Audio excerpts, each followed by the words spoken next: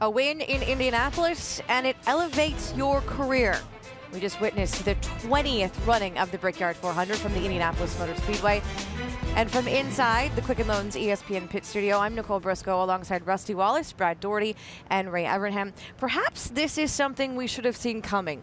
We saw qualifying on Saturday for the Brickyard 400. It was Ryan Newman who just edged Jimmie Johnson for the pole.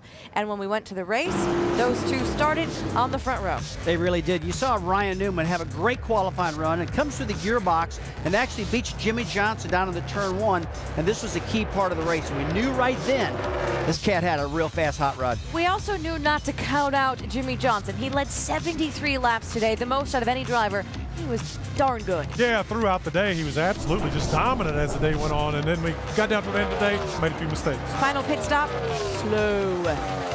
Yeah, they, they went to put a four-tire stop there, had a little trouble on the right rear. It looks like they dropped the lug. Matt Borland and his crew were watching this up and down pit road, and as Jimmie Johnson finished that pit stop, which took to be about 18 seconds, they shot him with the 39 car, and Ryan Newman took two right side tires, put some fuel in, and in about six and a half seconds, got him a big lead. That pit stop exchange ended up being about a seven-second swing between Jimmie Johnson, who had the lead before the pit stops, and goes to Ryan Newman, who then goes on to victory lane. So get this, Ryan Newman won the 50th anniversary of the Daytona 500.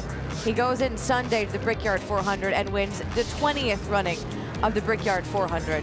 He likes to do things on big days, on anniversaries. But what does this mean to him considering this is a driver who just a few weeks ago was announced he won't be returning to Stewart-Haas Racing. Well, Nicole, that's a great question. This is a great race for him to win because drivers that are owners that want to hire Ryan, they want winners, they want consistency. And for him to go out there and grab the pole position for the Brickyard 400 and win the race, this has got to be the biggest race of his career, which we know, but it's great for a job resume also. This guy's looking for a job. Yeah, well, and I think all of that is in Ryan's head too, as we heard him talk about. He kind of needed that uh, confidence. This is a Hall of Fame type resume that this young man has. Tremendous race car driver.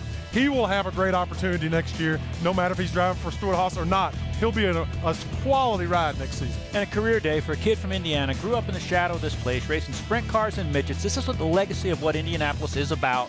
So great day for him and his family. You could hear the emotion in Ryan's Newman's, Ryan Newman's voice as he came to take the checkered flag. Becomes just the third pole sitter to win the Brickyard 400. Ryan Newman, a winner in Indianapolis, and his name instantly shoots to the top of the list with racing greats. You win at Indianapolis, it's not just about the trophy, it's about the glory. And today that goes to Ryan Newman.